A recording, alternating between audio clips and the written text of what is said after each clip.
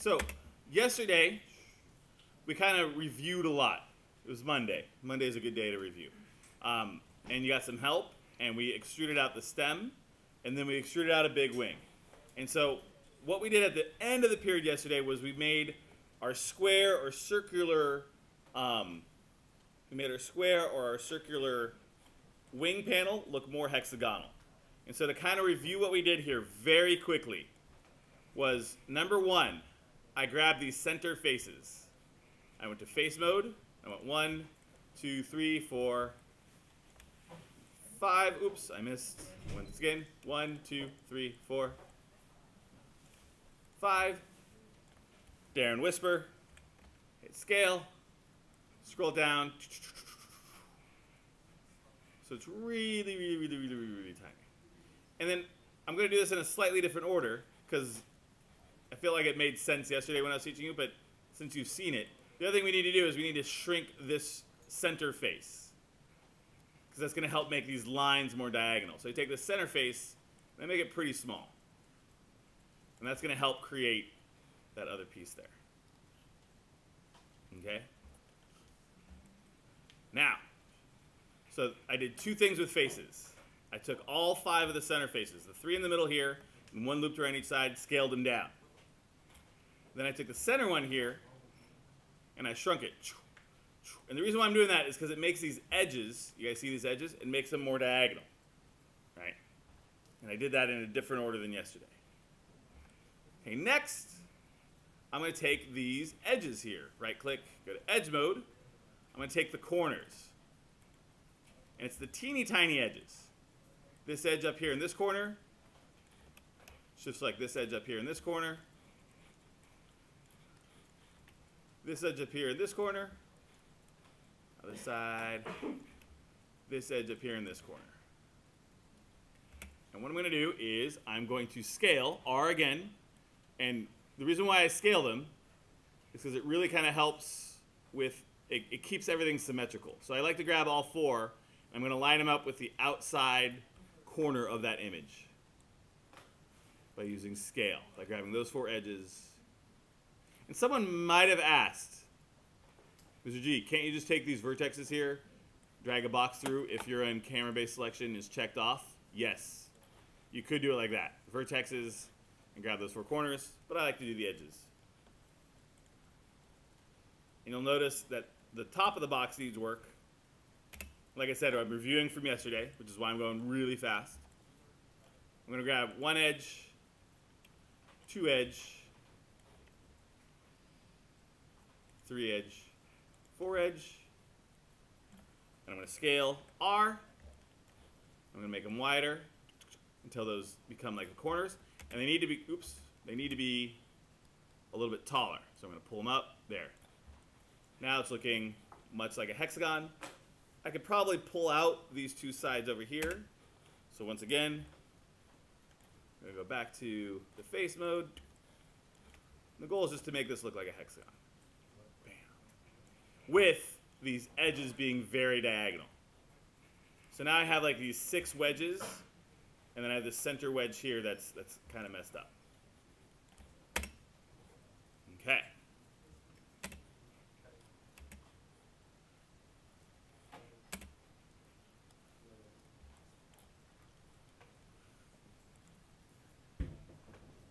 we have the basic shape. And like I said, I demonstrated yesterday, you're going to cut it in half. If you didn't cut it in half, don't worry about it. Um, because I'm going to demonstrate how to cut it in half again. But we got two, we have the rough version of our TIE fighter here. We need to add details in two spots. The panel here and the cockpit here. The panel, the cockpit, right? What do we want to do first? It won't matter. We can do one or the other first. Which one would you like to do first? The cockpit or the wing panel? Raise your hand. Tell your neighbor first. Tell your neighbor which one you want to do. Do we want to add detail? Do we want to add the windshield and the thrusters and a gun barrel? Or do we want to add all the details to the wing right now? Tell your neighbor. Go. All right? Discuss the pros and the cons? Oh, you don't have a neighbor. Is your neighbor here? How come you guys are talking? Which one do you want to do?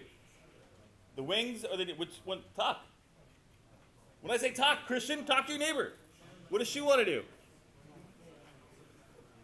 Yeah.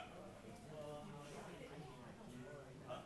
I just demonstrated. So you gotta grab the edges. I gotta move those edges. Each edge, we're gonna line up spots here. So grab not, not those edges. Turn, turn it. Turn it. Twist it. Here. These edges. Do, do, do, do. Like these, see these that, like that corner? You're gonna line that up with one of these corners. With the corresponding corner. Nope. That edge. There you go. All right. Let's put it to a vote. Ready? I'm gonna turn on the lights. It's a very big deal. Raise your hand if you want to add the cockpit details. Whoa. Raise your hand if you want to add the wing details. Winner by three or four. You don't vote, you don't count. Or lesson. November, what is it? November 2nd? When do we vote? November 5th? November 5th. November 11th? November 9th. We've got November 9th. Okay. By a three to nothing vote in a class of 24, we're going to do the wing details. That's what you guys voted for. All right. So let's do it. So let's look at the picture for a second. Right? The election was rigged. Let's look at the picture for a second. There it is. Um, so, a couple of things here with the wing. We, we have this center frame, but we it would be nice if we had um, two edges here and two edges here. Also, um, we have this little hexagon pattern here that kind of is going to stick out a little bit. I know because if I look at the side one, it, it extrudes out just a little bit. And having known from the toys and everything, like these are all kind of bulging out a little bit and the panel is actually indented. And you don't really get that from the pictures. You just have to kind of know, right? Um, so, let's do it. Shall we? All right, first thing we're going to do. Uh, in our side view, we're going to be jumping back between the side and the front view. We can do this several ways. Let's see what happens when we do an edge loop. I forget. Everyone prepare to undo. Insert. Edge loop. I'm giving you the wrong answer first. Yes? I need, let's do it. What's that's happening is when I'm cutting it with an edge loop, it's cutting it all the way through. And so that's not going to give me the result I want. Right? So don't do an edge loop. And Daniel went, well, because of your lecture before, Mr. G, Darren Whisper. Because of the lecture before, Mr. G, you said if we can't edge loop, we're going to multi-cut. And Daniel could do it with a multi-cut. You could. However, I'm going to show you another trick. Ready for the next trick? You ready, class? No? Ready or not? Yes? All right. Select all nine faces again. Problem is, is that all nine faces are now, you have three very small faces and three very big faces. So select the, the six triangles and then the three tiny ones in the center. Like that. So I'm selecting all six. Activate X-ray mode. You might be in four. Hit B, Oscar. If something shows up yellow, hit B. You hit it twice. There. Um, B. If, if, if your computer, if it ever looks like that, hit B. That we'll learn about that mode later. Okay, so I got all nine faces. Right? On the outside. Select them, John. You can do this part. All nine faces. Boom, boom, boom, boom, boom, boom, boom. Okay, and then X-ray mode is this button up here again. That's going to really help. And I'm going to extrude. Command E. I'm going to turn off my X-ray so you can see what I'm doing. Command E. I'm going to hit that global tool. And I'm going to grab, I'm going to hit the scale this little scale box, it activates the center scale box, right? I'm going to do this again, don't worry. And the first extrusion, I'm not going to pull it out, I'm just going to pull it in. With scale, I'm going to scale it down a little bit, and I'm going to scale it in a little bit, right? And so this gives me this nice, cool border, which if you look at my x-ray mode, it has. You see how it has this little border on the edge here, right? So that first extrusion, I'm not pulling out, I'm not pulling in, I'm not making an extrusion like you typically make one. What I'm doing is, is I'm making an extrusion to kind of make this first ridge. I'm going to do the whole process over. Okay? So, double checking the X, yes. All right, so my first extrusion, Command E, I'm going to hit the global tool. I'm going to grab the green box and scale it in a little this way. And I'm going to grab the blue box and scale it in a little this way. How do I know how, how much? Because you guys are in x-ray mode, and you can use this as your guide. So you, are making this little frame. You see how the, the, the gray frame before you see like the black. I'm assuming there's solar panels, right? I'm assuming TIE fighters are gathering solar radiation through those giant panels. I think that's, that's, that's how they're supposed to work in this weird sci-fi world of ours, right? Okay. So I've made one extrusion, but I didn't pull it out. I didn't use the red arrow at all, right? I only shrunk it in. Okay. I'm going to do the same thing again. I know. It's a, it's, it's a Tuesday. I know. I'm going to do the same thing again, but this time, the same exact strategy. But this time, this extrusion is going to be for this hexagon right here. Everyone see the hexagon I'm looking at? It's going to be for the inner hexagon. So I'm going to hit extrude again. I'm going to turn off my X-ray so I can see it. Yep. I'm going to hit Command E. Hit that global tool, the global switch. I'm going to pull it way in this way, green box and blue box. And then I'm going to use x-ray mode to make sure it's, it's nice and awesome. X-ray mode. Looks like it needs to be a little bigger here, bigger there, something like that. There you go.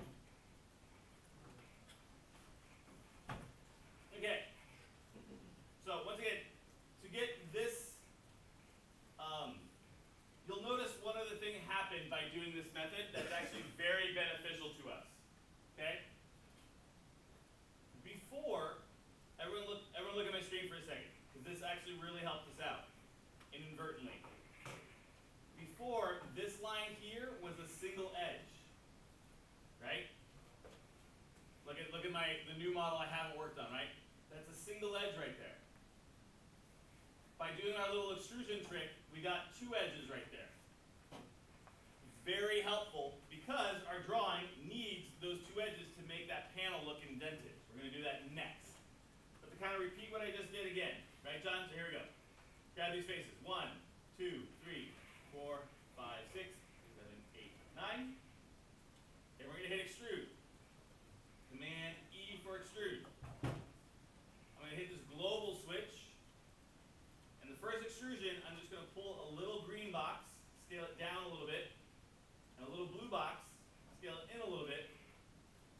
And that creates this little ridge on that panel right there, right? If I go to the side view, I'm creating this little, the ridge of the wing.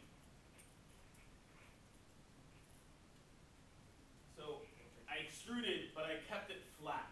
I didn't pull out the extrusion, I didn't push in the extrusion. Repeating, I extruded it again. Command E, hit the global switch, and I pulled down again, blue box, and then I put green box and then blue box. And again, I get it to match kind of like the center, like a hubcap. And if that's all you do, that's fine.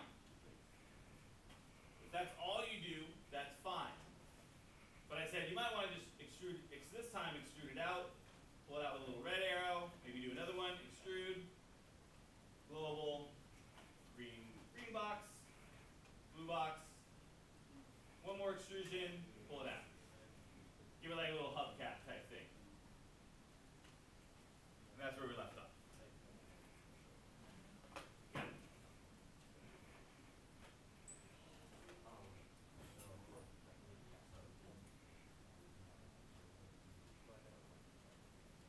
And let me make these bigger for you. Display. Vertex sides, then make them bigger. There you go. That might be too big. There you go. So I'm gonna grab. I can do it one vertex at a time, or two vertexes at a time, or four vertexes at a time. But really, all I want to do is just make these a little thicker. So I'm just going to do two at a time because I think it would confuse you if I select four. Selected, I selected these two inside vertices here. One, two. Went to vertex mode. Right click held. Chose vertex. Selected one vertex. Selected two vertexes. And I hit scale. R. And then I'm going to pull them in with the. It's blue. It's it's yellow, but it's blue. The Z one. I'm going to scale it, and notice the the the lines become thicker. Right? How thick do you want to be? That's where the reference image comes into play, right? You want them to be as thick as that that that gray bar right there. Right? So all we're doing is we're making these we're making these four bars just kind of be straight and even. So again, I'm going to grab I can do it here too. One, two, three, four, and I'm going to scale those in, in, in, in, in, in, in, in, in, in, in, in, in, in, in, in, in, in, to about right there. Boop. And then one more time. I'm going to grab these four. One, two, and I'm going to grab them in, in, in, in, in, in, in, in, something like about that. Just so they look relatively evenly spaced.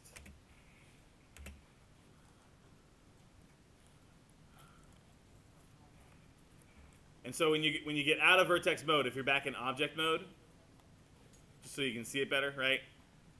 These four sets of edges, or these, they're going to be six faces. One, two, three, four, five, six. They're nice and they're parallel lines. They're nice and straight. They're not sinking in. So if you missed how I did that, I'm doing it again. Oops. On this guy. I'm not even going to use my reference images. Uh, sorry. There we go. It's confusing having two. So once again, I'm going to go to vertex mode. Vertex mode. And someone, I think, mumbled, oh, I just grabbed all four. You could. I could grab the, the, the exact same two below this hexagon and do four at the same time. But I feel like I would lose a few of you, so I don't want to do that. I'm just taking these two and I'm pulling them in. Something about that.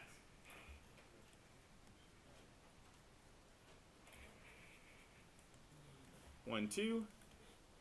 Pull them in. Something about that.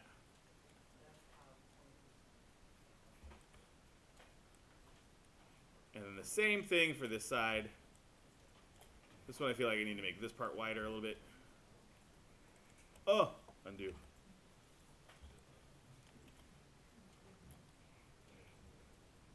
One, two. And then one, two. Oops, wrong one. Sorry. Shit. Undo, undo. One, two. Did I get the right ones? Now I'm going to pull them out. Hit scale. Till there. About straight.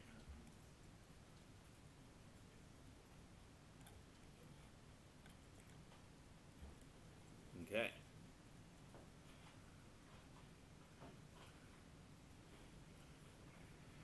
Now, you can't actually see this in the drawing, but because of my vast knowledge of Star Wars and playing with Star Wars toys, Star Wars toys since I was five, which was 35 years ago, you can do the math on that. I'm old. I was playing with the original Star Wars toys out of package because I was a kid and didn't know any better. How much do they sell for now? I don't know, in package, hundreds, thousands. Right? Mine's like all dirty and You, broken. You have it still? My lid, no, I don't have it. The lid was broken off. like the cockpit lid. It was all dirty and scuffed up because I threw. I would like throw it. Okay. Okay. Once you get the panels uh, evened out, the last step for the wing is easy. One, I'm going to select two, three, four, five, six. I have those six big faces. They're like giant trapezoids right now. And guess what I'm going to do? Someone tell me. What am I going to do? I've selected the faces. What's my next move? You know it. What are we going to do? Say it loud, say it proud. Extrude. Did someone say Google it? Google it. I'm going to extrude, Command E, boop.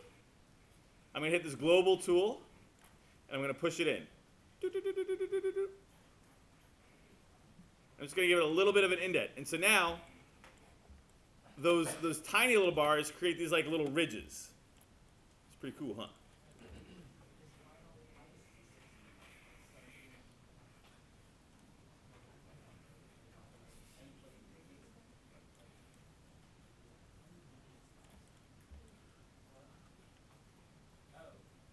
All right.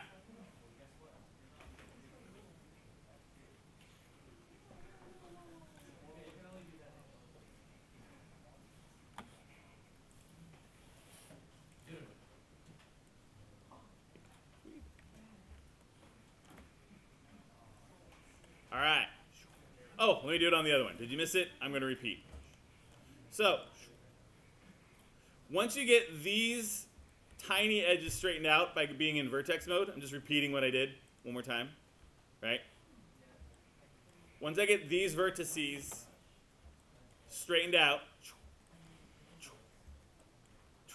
right? Then I'm gonna I'm not gonna select them. That's the trick. The trick is not to select these skinny ones, only select the fat ones. And that kind of creates this nice ridge effect, which makes these awesome little shadows. So one, two, three, four, five, six. And I'm going to hit extrude, Command E, global, push it in. Bop, bop, bop, bop, bop, bop, bop, bop. Just a little bit like that. If you go too far in, you'll see the other side of the, the wing. You'll, you'll, be, you'll be pushing him through all the way through like that, which is what I think Tay was doing. So you don't want to go too far, just a little bit. Just create that little indent. Something like that. A little indent goes a long ways. Looks sick. All right. Last little bit. What we forget? What did we forget? What did we forget, class? The back side of the wing. The back side of the wing is actually easier. Check it out. Remember how I said edge loop won't work? Guess what? Edge loop works now. On the back side of the loop, on the back side of the wing, do the following. Just go to Mesh Tools, go to Insert Edge Loop, and check it out. Whoop. Boom. Almost a near perfect hexagon right away. Did you miss that? Did I go too fast? Let me do it again. Mesh Tools, Insert Edge Loop, and To get it, approximate a hexagon here, bam. If I wanted to kind of like straighten out or perfect it a little bit more, I could, but that's going to be good enough for me. It's the backside of the wing, who really cares, right? And then I'm going to do the same indent trick I did over here. So again, I'm going to grab the, the fatter faces. One, two, three, blah, blah, blah, blah. I'm going to hit Command E. And this time, I'm going to push them in this side. Oops, I forgot one more thing. Damn. Two, forgot one step. The hexagon still worked. I was going too fast. My bad. Do. I'll just undo the whole thing. There you go. One step I forgot. Can anyone tell me what step I forgot? I did the edge loop for the hexagon. What did I forget over here? The red, the ridge, the edge there. So I just have to do two edge loops totally skipped my mind. That's what Command Z is for, class. Mesh tools, insert edge loop, and I'm going to plop that in there. And then I'm going to do one more up top here. And that's going to create my little ridge for the top of the wing. Then I'm going to grab faces, one, two, three, four, five, six. And I'm going to extrude inward. Command E. And just a little bit. Hit the global. Just pull it in just to kind of have it. Again, don't go too far. Don't run into the other side of the ring. Wing. Push that in. Get these nice, cool ridges.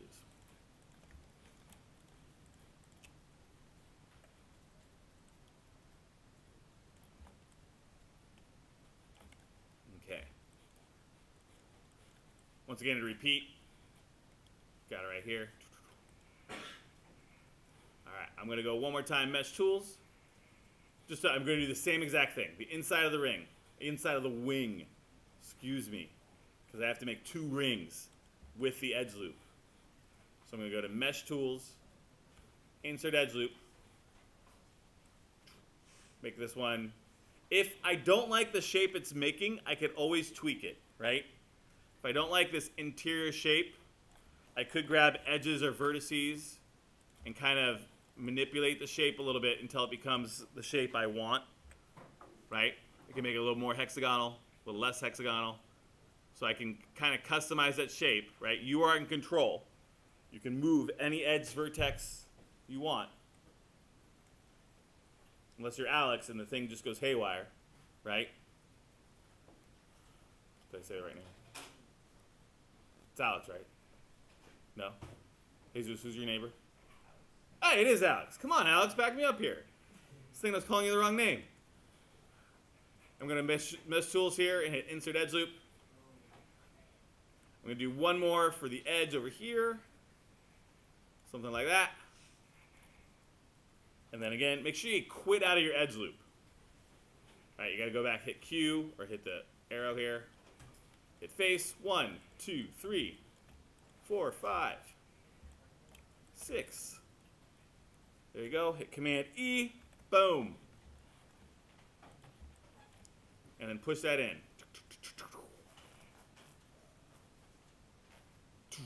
Right. So we're right about there. Maybe a little less.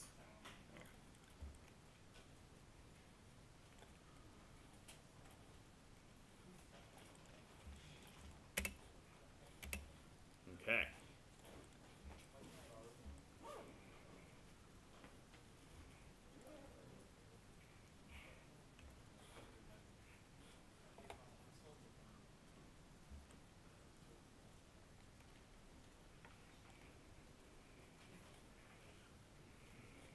If you are lost or behind or got stuck somewhere, here's the important things to know. The important things to know is tomorrow we're doing the cockpit, which has nothing to do with the wing, so everyone can start fresh on the cockpit. That's number one. Number two, if you didn't do like all the details, like if you didn't do like the extra little hubcap, if if if I have like the the panels stuck in on the outside and you didn't get to the back side of the wing, that's going to be okay too. I do want to see that you can you can do that flat extrusion trick, and I do want to see that you can kind of select different ones and push them in because extruding inward is just as important as extruding outward. Um, so if you have all that, so if it doesn't look perfect, but you have some sort of indentation, and you you, you have some sort of ridge with those with those beams, you, you're set. Otherwise, right? Um, we got flex times. I'm gonna make a, a. I know I'm just posting all my lectures. I'm gonna try to make one nice condensed video as well, um, to kind of help you out. But tomorrow during fourth period, fear not. Right? If you are completely lost on the wing and you have a cube, if you have a cube, you can do what we're doing tomorrow. So if all you have is a cube, you got a nice, good, fresh restarting checkpoint, and then maybe flex time today, or tomorrow, the next day, or lunch tomorrow, the next day, or whenever. Um, you can mess with the next part. So fear not with that. Okay?